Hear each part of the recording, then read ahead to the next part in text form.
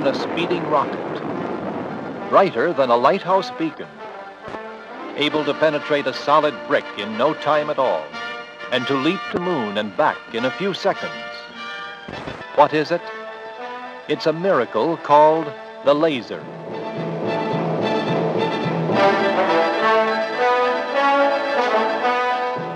This beam of light can perform miracles, the newest, most important discoveries and developments of American science.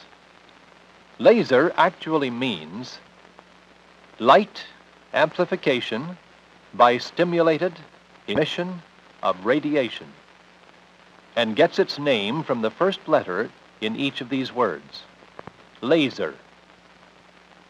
The world's first laser beam was born right here in the Malibu laboratories of the Hughes Aircraft Company, where in 1960 the physicist Dr. Theodore H. Maiman built his historic Ruby laser. The theory of how such a laser beam might be achieved was first published two years before in a scientific paper by Dr. Charles H. Townes and Dr. Arthur L. Schawlow, although the underlying principles were described by Albert Einstein over a quarter of a century earlier. This is the actual first ruby laser built by Dr. Maiman. The heart of it is a slender rod made of synthetic ruby crystal. The ends are polished and coated with a mirror surface, one of them totally reflecting, the other one only partially so. And a spiral flash tube of the kind used in high-speed photography which can encircle the ruby rod. It is not necessary to coat the actual rod ends with reflecting material. Mirrors can be placed outside the rod at either end with the same result. It is a surprisingly simple device, yet it can produce the most intense light ever registered by man, many times brighter than the sun's surface. The laser literally can vaporize any substance on Earth instantaneously. It holds the promises of great scientific achievements, as we shall see. This is what actually takes place inside the laser to produce the powerful laser beam. Like all things in the universe, the synthetic ruby, an aluminum oxide which consists in part of chromium, is made up of atoms. An atom consists of a center nucleus with one or more electrons orbiting around it.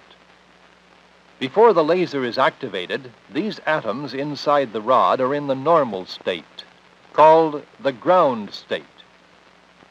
But when a light flash, the pumping light, is triggered in the tube around the ruby rod, the atoms within the ruby rod are hit by the flood of light energy blazing into the rod the atoms become highly energized, which causes some of the electrons to jump out of their orbits into a higher than normal energy level, or to what is called the excited state.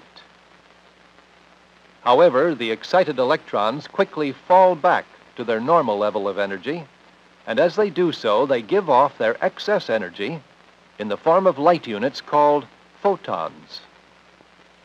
The photons are shot off in different directions but some of them hit one of the mirrors at the end of the ruby rod and are reflected back to the opposite end, which is also mirrored. More and more photons begin to bounce back and forth between the mirrors. As they do so, they strike other excited electrons and trigger them into throwing off photons also. As this cascade of light streaks between the mirrors several million times, picking up more and more photons, it builds up tremendously, and the light charge passes through the partially reflecting end of the rod in a mighty pulse of laser radiation. And it all happens faster than you can snap your fingers. In order to understand why the laser beam is the world's brightest, most concentrated light of the purest color, we must know something about ordinary light. Light travels in waves, like ripples on a pond when you throw in a stone. The number of waves that pass a given point in a second determines the frequency of the light. The distance from the crest of one wave to the crest of the next wave is the wavelength. Ordinary light, or white light, such as the light from the sun, from a candle, or a flashlight, is made up of many different wavelengths, which is the same as saying many colors, traveling in every direction, all jumbled together. Such light is called incoherent light. Laser light, however, is of one wavelength, with all the waves moving in one direction. And even more important, they are in phase or in step. The waves in ordinary light cannot move in step because they are of different lengths. Laser light, being of one wavelength, does move in step, each wave reinforcing the other, and the light therefore is capable of remaining in a straight, narrow beam for long distances. Such light is called coherent light. The water squirting from this hose may be compared with incoherent light. Now the nozzle action is changed. This stream of water may be compared with coherent light.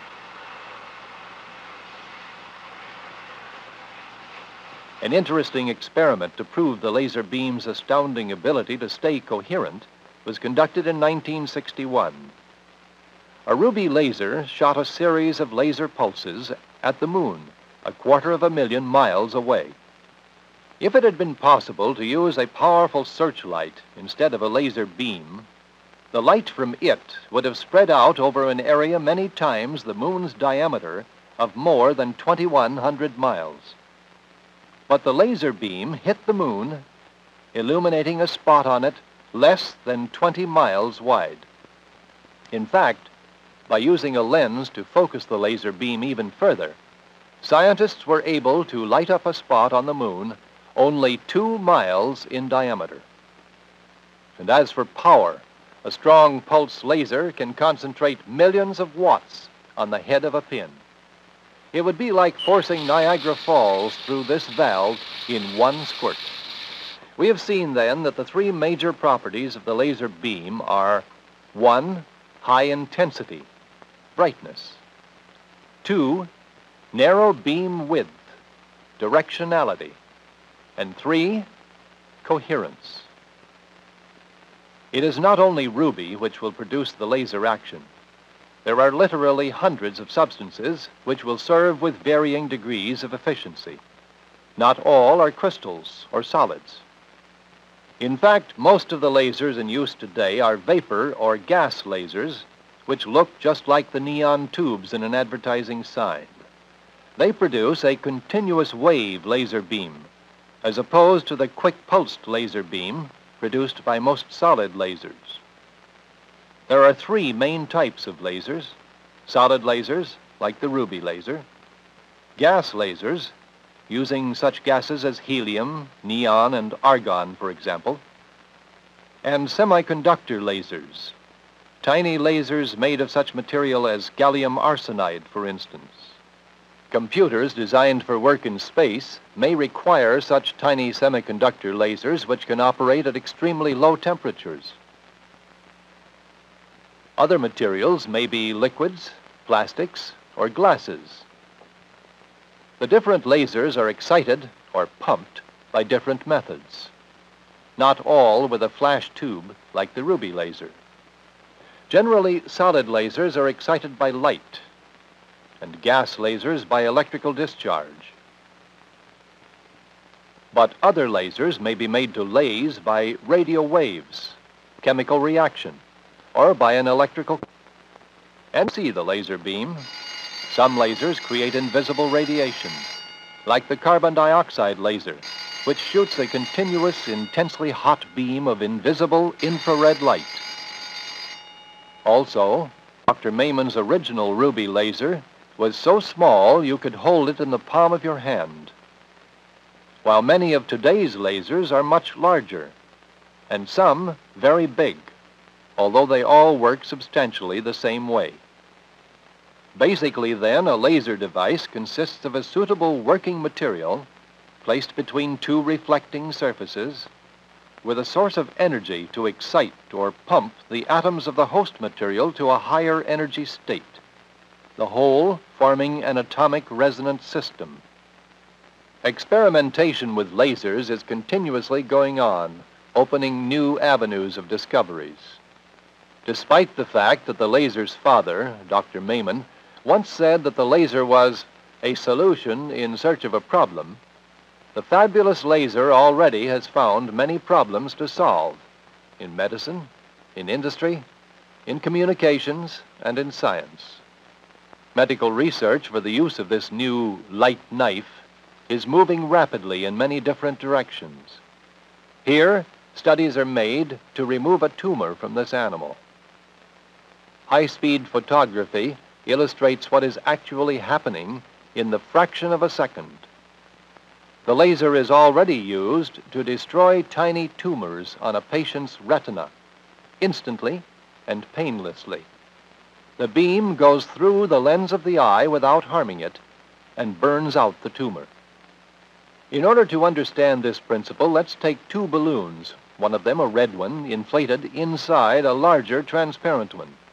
The red one represents the tumor inside the eye, the transparent one the lens.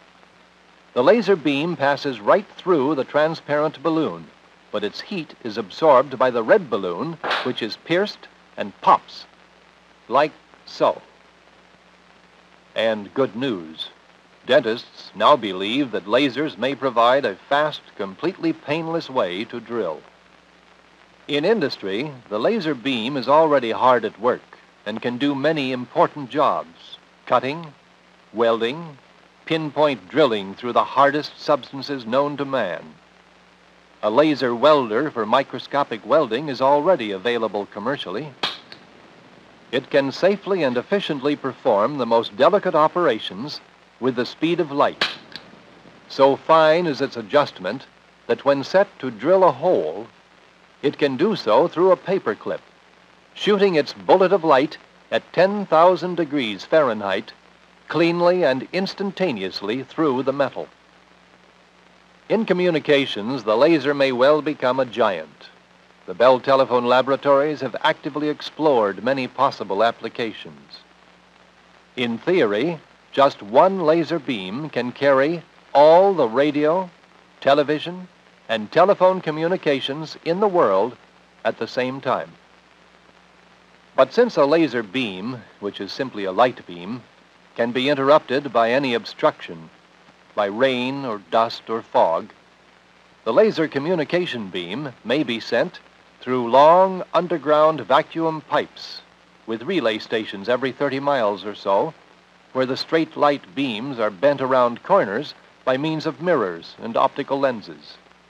However, in space, no such protection is necessary for the laser communication beam. And the laser will undoubtedly be tomorrow's link with deep space vehicles, especially for interplanetary communication. The beam of light shot out by giant lasers could even be used to carry messages to the most distant galaxies. Lasers can be used for quick, exact measuring of distances, both extremely far and extremely small like this laser rangefinder that measures the distance to its target by firing a laser light beam at 186,000 miles per second and calculating the time of its round trip. The armed forces are naturally very interested in the potentials of this technique. Already developed are tank and aerial ranging systems, some with a 10 mile range. Space distance uses were heralded by this historic photograph of the Earth taken in 1968.